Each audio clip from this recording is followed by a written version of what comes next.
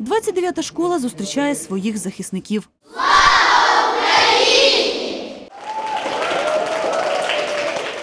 Ялинки, сніговики, Дід Мороз і побажання – усе це на дитячих плакатах, які учні початкової школи готували для бійців АТО.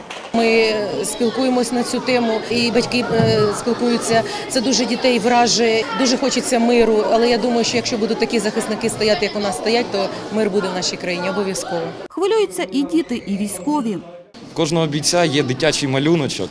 І якщо приїжджає без, без, без дитячого малюнка, то ну як би до нього таке ставлення новачок або там ну не такі, як усі. Насправді дитячі малюнки, дитячі подарунки це є дуже приємно і є наші оберіги.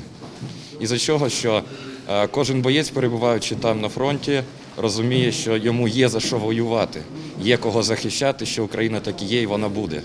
Школярі ж чоловіків у формі та повній амуніції не бояться.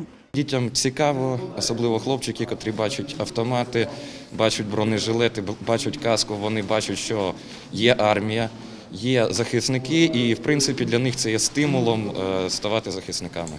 Бійці розповідають дітям про те, що воювати не треба. Тому я хочу, щоб ви між собою ще дужче здружилися. Зрозуміли? І тоді ви всі будете набагато сильніші. У гості до школи учні запросили захисників, щоб вручити подарунки. Що в тебе в пакуночку?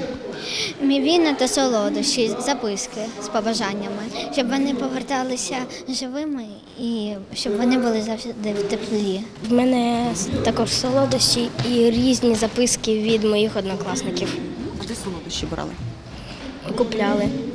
Діти залюбки фотографуються із військовими, беруть у них автографи на прапорах і від душі розмовляють та бажають всього найкращого. На камеру ж учні більш скромні, але щирі. Ми е, любимо їх. Подарунки та новорічні плакати бійці мають передати своїм товаришам на схід України.